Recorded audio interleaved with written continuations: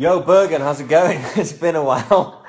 Krumbad. Yeah, don't stop this one. This is the first take. Krumbad. We've rehearsed a few Well times. done. Krumbad. People have won tickets. We don't want to waste your time. We just made a video for this and it took three and a half minutes, which was far too long. So we're It- trying it to was trying to do funny, this though. quickly now. So there's two winners for the the people that tagged their friends in the Krumbar post. Two winners. So you guys are going to be on the list for Friday. Just turn up. We made and little envelopes. Get in for free. It's definitely worth paying for though if you don't win. Here's the winners. Lever Ordemut.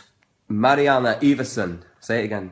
Lever Ordemut. Mariana. I'm guessing. Mariana Iverson. Well done, guys. You're going to be getting in to the show for free on Friday. More tickets left But- on sale though, yeah, peeps. we even wanna though s- last time was a sellout. It's Just put it out always, it's always a, Chill it's always a good show in Bergen.